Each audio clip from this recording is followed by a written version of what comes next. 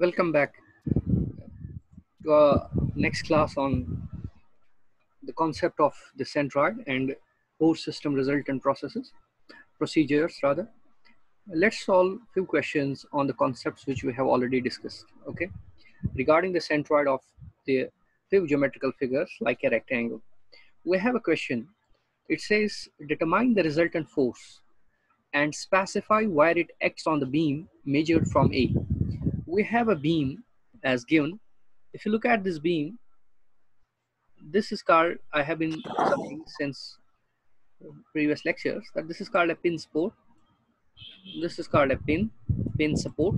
And this is what we call as a roller support. Okay. In your mechanics of materials first, that's in your next semester, we will be discussing what we mean by a pin support and roller support.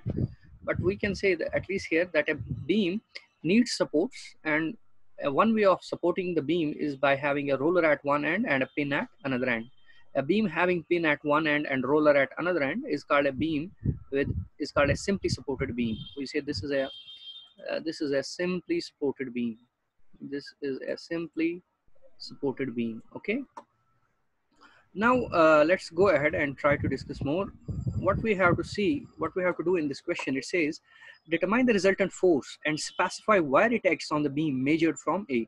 The question is like, we have to replace, we have to replace, we have to replace all these forces acting on the beam by a single force. Okay, we have to replace all the forces acting on the beam by a single force. See, as far as this free end is concerned, from free end to end A, we are having a uniformly distributed load acting whose intensity is 6 kilonewton per meter. From end A to end B, we are having uniformly distributed load of 9 kilonewton per meter acting. From end B to the free end, we are having uniformly distributed load of intensity 3 kilonewton per meter acting. So it means at different spans of the beam, at different spans of, at different portions of the span, we are having a beam, we're having beam having different intensities of loading. From free end to end A, we're having 6 kilonewton per meter. From end A, from point A to point B, we're having 9 kilonewton. From point B to free end, we're having 3 kilonewton. We have to replace all these loads by a single load. See what we will do. Look into the from free end to end A. Okay, the load is in the form of a rectangle. Okay, I have already told you the total load when you have a distributed load the total load the resultant load because of a distributed load is equal to the area under area under the diagram okay area under the load diagram if you look here the area of this load diagram is the area of this load diagram is is equal to its its length is 1.5 meter it's 1.5 meter multiplied by its height as far as its height is concerned that is 6 kilonewton per meter. 6 kilonewton 6 kilonewton per meter. So meter and meter will cancel. So area becomes equal to 1.5 multiplied by 6 that is 9 kilonewton. Okay? So it means as far as this force of 6 kilonewton is concerned we can replace this force of 6 kilonewton per, mean, per, per meter. We can replace this force of 6 kilonewton per meter acting on a span of 1.5 meter by a single force whose value is how much? 9 kilonewton. You can replace this load by a single load whose magnitude will be 9 kilonewton. Okay, this is what we have already done. Now the question is where this load will be acting? This load will be acting at the centroid of this rectangle. Okay, this load will be acting. This load will be this load of 9 kilonewton. That is, we are replacing this uniformly distributed load of intensity 6 kilonewton per meter by a si single load. By a single load whose intensity is whose intensity is 9 kilonewton 9 kilonewton. Now the question is where we will place this 9 kilonewton? We have to place it at the centroid. Now where is the centroid of a rectangle? The centroid of a rectangle as we have seen is at a geometrical center. If its length is 1.5 then its centroid will be at the center having having distance 1.5 divided by 2. So it means we can replace, we can say that this force of 9 kilonewton we can we have to show it here okay? We have to show it here such that this distance this distance will be 1.5 divided by 2 this is 1.5 divided by 2 that's equal 0.75 meter that is 0.75 meter this force. Okay? How much will be this distance from here to end end? That will be 0.75 again because total distance is 1.5 so we have replaced this load of 6 kilonewton per meter acting on a span of 1.5 by a single load whose intensity is whose value is 9 kilonewton. Now let's talk about this. The load acting on the on, on the span on the portion ab the area ab under ab is equal to this area is equal to its length that is 3 meter multiplied by its height which is given to us as 9 kilonewton per meter 9 kilonewton per meter. So 9 into 3 that's equal to 27 kilonewton okay? So it means the the load this 9 kilonewton per meter acting on a span acting on a length ab can be replaced by a single load. This can be replaced by a single load whose magnitude is equal to 27 kilonewton. But the question is, where this is this load acting? This load will also act at the centroid of this rectangle whose side is 3 meters. So we know for a rectangle, the centroid is at the geometrical center. Therefore, we can place this load of 27 kilonewton, we can place at its center. Okay, we can say that this is acting at the center such that this distance is, the distance from here to here is 3 by 2, that is 1.5 meter. 1.5 meter okay? 1.5 meter and this uh, load is the load acting is 27 kilonewton 27 kilonewton. Same we will do with this end from point b to the free end. The area is 1.5 meter multiplied by 3 kilonewton per meter. 3 kilonewton per meter meter meter will cancel so it is 4.5 kilonewton this is 4.5 kilonewton. So again, this force we will place at its centroid. The centroid will be 1.5 divided by 2. So we'll say that at the center, the force acting is 4.5 kilonewton, the 4.5 kilonewton, 4.5 kilonewton, and it's acting at the center. The distance from here to here will be 3 by, sorry, 1.5 divided by 2, that is 0.75. So in step one, we have replaced each force we have replaced each uniformly distributed load by a single concentrated load. Now on this beam, there are three loads acting. We will replace all these three loads by a single load. That is what we will do. So we have the, so what we will be doing it, let's, what we'll do, we'll replace all these three loads by a single load now. Let's replace them by a single load.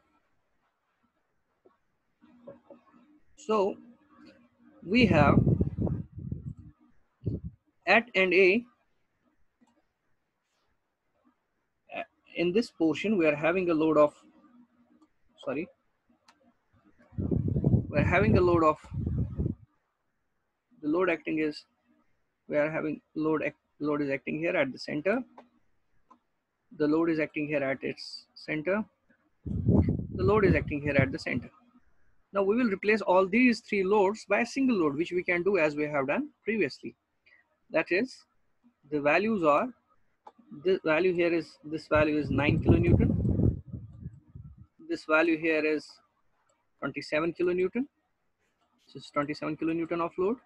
And this load is 4.5 kilonewton, okay?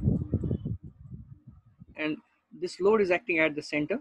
So this is point O, we have to find the resultant. We have to find the resultant of these three forces as measured from point A.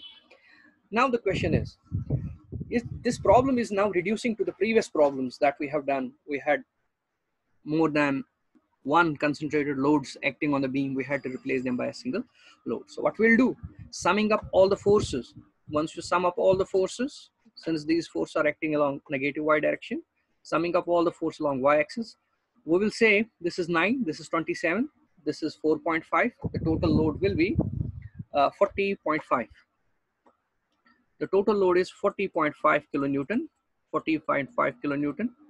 Actually, we are summing up minus 9 kilonewton because it's acting downwards, minus 27 kilonewton, minus 4.5 kilonewton. That comes out equal to minus 40.5 kilonewton. So this is, that means that these three forces can be replaced now by a single force.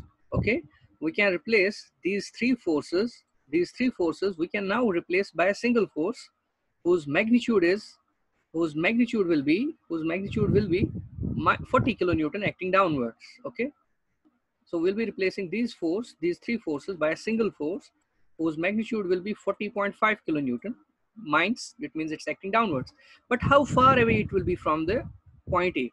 It will be at a distance, say for example, it will be at a distance x. It will be at a distance x from end A such that the moment of this 40.5 kilonewton about an axis passing through point A will be equal to the individual moments of this 9 kilonewton force, 27 kilonewton force and 4.5 kilonewton force about an axis passing through point A, the way we have been doing it previously. That is, we are placing this 40.5 kilonewton force at some point at a distance x from end A, okay, such that its moment will be equal to the moment of eh, resultant moment of the individual forces. Now, look here, the moment because of this 40.5 kilonewton force acting at a distance x from point A will be equal to 40.5. The moment of it will be equal to 40.5 40.5 multiplied by x 40.5 multiplied by x 40.5 is in kilonewton, x is in meter, therefore unit will be kilonewton meter. And this 40.5 kilonewton force is trying to rotate the beam, it's trying to set the rotation in the beam in the clockwise direction, okay? It's trying to move the entire beam clockwise, that's why we'll write it minus, okay? This moment should be equal to the moment produced by individual forces. The moment produced by this 9 kilonewton force will be 9 kilonewton multiplied by its force arm from point A. Okay, since this is acting at the geometrical center of 1.5, the distance from here to here will be 1.5 divided by 2 that's equal 0 0.75 0 0.75 meter okay? And the rotation is this is trying to rotate it in anti-clockwise direction we'll take it as positive. Then we have the moment because of this 27 kilonewton we have 27 kilonewton multiplied by its force arm its force arm from point a because we have to take all the distances from point a it will be 3 by 2 that is equal uh, 1.5 meter and again it's 27 is also trying to rotate it clockwise we'll write it as minus then we are here at 4.5 this is also clockwise this will be minus 4.5 multiplied by the force arm measured from point A. The distance from here to here is 1.5 divided by 2 that is 0.75 plus this 3 meter that is multiplied by 3.75. The reason for 3.75 is the reason for 3.7 because we have to take all the distances from point A. It is 3 meter plus 1.5 divided by 2, that's 3.75. So once we perform the calculations, this is minus 40.5 into x comes out equal to, let me quickly perform the calculations. This is 9 into 0.75. This is 0.75 into 9 that's equal to 6.75. This is 6.75 minus 27 into 1.5, 27 into 1.5, that's equal 40.5. This is 40.5. Then we have 4.5 into 3.75. That's equal to 16.875. So we'll write 16.875 okay we'll add them up we'll write uh, we'll perform it 6.75 minus 40.5 then minus 16.875 this is this comes out equal to this is equal minus 50.625 so minus 6 50.625 is equal to the right hand side is minus 40.5 into x. So minus and minus will go. Therefore, the value of x comes out equal to 50.625 50.625 divided by 40.5 okay? That is equal to 50.625 divided by 40.5 is equal to 1.25 since we have measured x in meters therefore it will be 1.25 that is 1.25 meter. That means the problem now gets reduced to you can replace all these forces. You can you can replace all these forces by a single force all these forces can be replaced by a single force. You can replace all these forces by a single force whose uh, these forces can be replaced by a single force. Not here exactly. These forces can be replaced by a single force here whose magnitude will be 40.5 kilonewton. 40.5 kilonewton. And this force will be acting from end A. From end A the force arm must be from end A. Its distance measured from end A that is this distance should be equal 1.25 meter. This is it okay? So you need not to write this force we need not to write this 9 kilonewton force. You need not to write this. Just replace all these forces by a single force of 40.5 acting at a distance of 1.25 meter. The effect will be same. This is how we use the concept of centroid in solving the problems. Okay? So in the same way we have some more questions based on the same procedure and the pattern.